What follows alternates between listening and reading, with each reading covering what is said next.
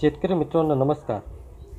तर आपण आज धान पिकावरील गंदीभग लोंब्यावरील ढेकण्या याची माहिती पाहणार आहोत. तर आपण पाहत असल्याप्रमाणे हा आहे लोंबीवरील ढेकण्या याला आपण गंदीबग असे म्हणतो. याला गंदीबग यासाठी म्हणतो जर या हा ढेकूनच्या जवळ आपण केल्यास विशिष्ट प्रकारचा घाण वास संरक्षणासाठी शरीराबाहेर सोडते. आणि आपल्याला विशिष्ट प्रकारचा असा वास येतो. म्हणून याला आपण गंदीबग असे म्हणतो. तर ही लोंब्यावरील ढेकणे आपण पाहत असल्याप्रमाणे पाय लांब हिरवट या प्रकारचे असते आणि धान पिकामध्ये सुरुवातीलाच ही येत असते.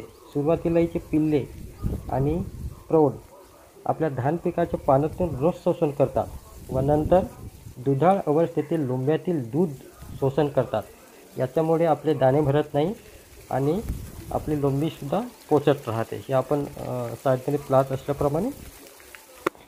आणि पोचत राहत असते आणि वजनातसुद्धा घट येते.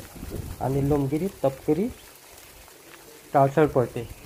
जसे आपण ग्रेन डिस्क्युलेशन म्हणजे दाणे रंगहीनता जसे येते त्याच प्रकारे हे याच्यामध्ये आपल्याला दिसत असते. तर हिच्या आर्थिक नुकसानीची पातळी आहे. या गंदीबाग किडीचा जीवनक्रम खूप मोठा असते. ही मादी धान पिकाच्या पाण्यावर पानावर चोवीस ते तीस अंडी पांढऱ्या रंगाची गोलाकार असून ही एका रांगेमध्ये घालते आणि जी पिली अवस्था चौदा ते पंधरा दिवस व ही प्रौढ अवस्था तेहतीस ते पंचावन्न दिवसाची असते. आणि ही आपल्या संरक्षणार्थ असा विशिष्ट असा घाण प्रकारचा गंध सोडत असते. म्हणून याला असे म्हणत असतात. या कळीच्या रासायनिक व्यवस्थापनासाठी मॅलाथॅन पन्नास टक्के ई सी याच्यामध्ये डेव्हिमाल्ट फिफ्टीन देवी द्याल हिलमाल मॅलाथॅन इत्यादी नावाने येत असतात. त्यानंतर मिथिल पॅरेथॅन दोन टक्के डी पी यामध्ये ग्रॅमेक्सिन पायनेर कंपनीची आणि टॉपर ट्रॉपिकल कंपनीचे येत असते.